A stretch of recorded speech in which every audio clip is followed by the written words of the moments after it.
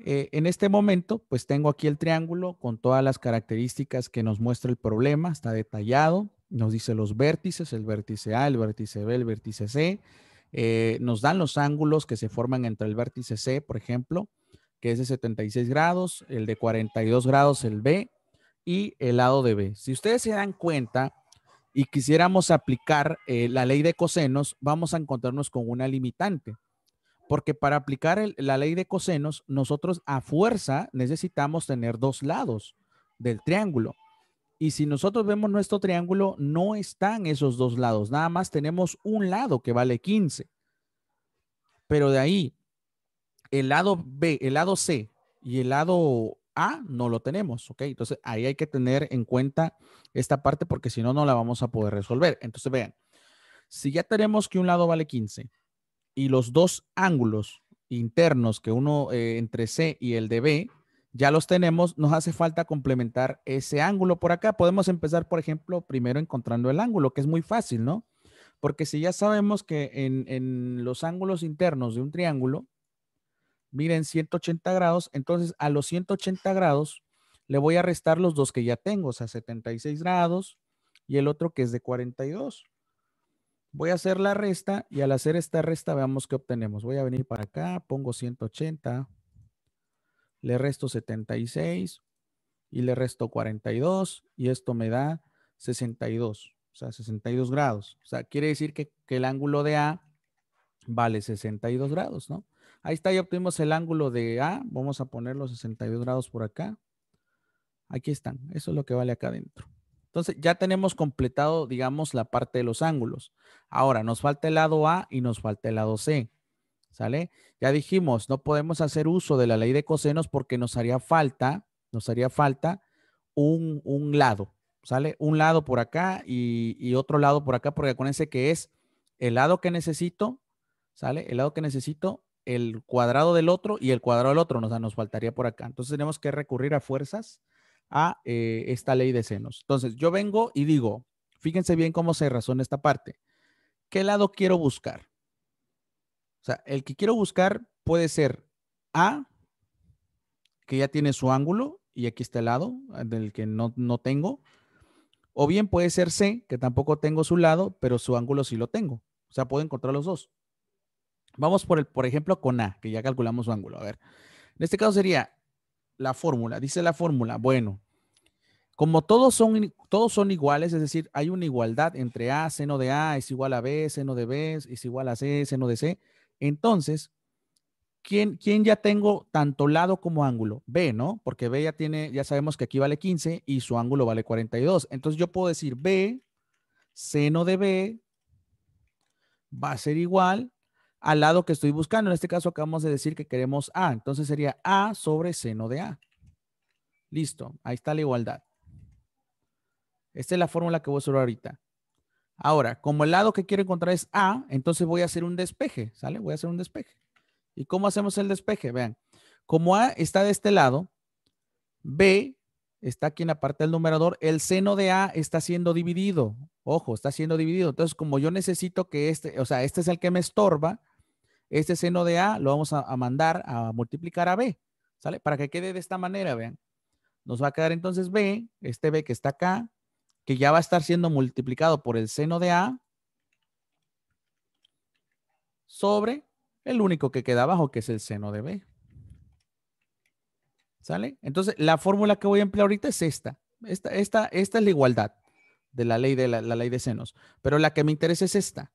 ¿Ok? Entonces borro esta de mientras y me quedo nada más con la que voy a utilizar. Y solamente voy a sustituir los valores. Vean, como es una división y dice que el lado de B, que vale 15, lo voy a multiplicar, ese 15, lo voy a multiplicar por el seno de A. Pero el seno de A, ¿cuánto dijimos que vale? 62 grados. Entonces vengo acá, abro paréntesis y pongo 62 grados. Ahí está.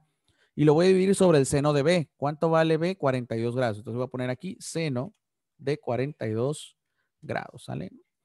Pueden ustedes poner en paréntesis esto para que digan que estamos encerrando el argumento de la función trigonométrica y ya nos quede así. Ahora, vean, voy a agarrar 15 por seno de 62 grados, ¿ok? Y a esta cantidad la voy a dividir sobre el seno de 42 grados.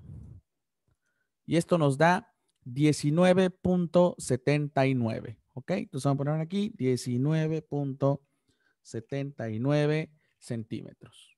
Copiamos y pegamos por acá y con eso obtenemos el lado de A, chicos. Ahí está. ¿Ya cuánto vale A? Pues A vale 19.79 centímetros. Ahí está. ¿Ok? Bueno, aquí. Ahí está. Ya tenemos el lado de A. ¿Quién falta? El lado de C. Y el lado de C también lo puedo hacer de la misma manera que hicimos eh, esta igualdad. O sea, puedo agarrar otra vez B, seno de B es igual al otro lado que me falta, que es el lado de C. Es igual a C sobre el seno de C.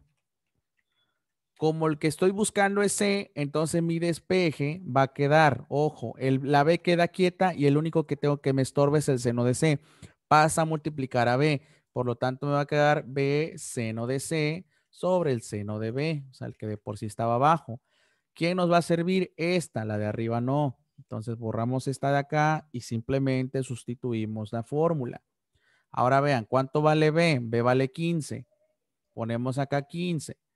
¿Cuánto vale el seno de C? Seno de C vendría a valer 76 grados. Entonces ponemos aquí 76 grados sobre el seno de B. ¿Cuánto vale el seno de B? 42 grados, ¿no? 42 grados. Ok, vamos a ponerlo en, paréntesis el argumento, 42 grados. Y simplemente lo mismo que hicimos en el anterior. Sustituimos los datos, ponemos 15 por seno de 76, ¿ok? Y esto lo dividimos entre el seno de 42. Y esto nos da 21.75. Ahí está, 21.75. Copiamos y pegamos por acá.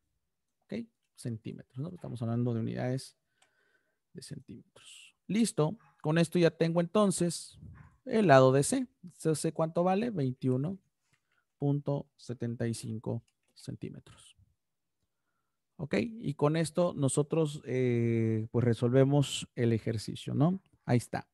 Así se resuelve este ejercicio, chicos. Es un poco más sencillo, si se dan cuenta, pero dependiendo la forma del triángulo, porque si hubiera sido que nada más nos hubiera dado un ángulo y un lado, entonces tendríamos que haber recurrido al ejemplo anterior de la ley de cosenos, como lo hicimos acá. Si se dan cuenta, aquí es un poco más este, de hacer este, cálculos, ¿no? De, de fórmulas y todo, a diferencia de la ley de senos, que nada más son divisiones y despeje y listo. ¿Alguna duda hasta acá, chicos?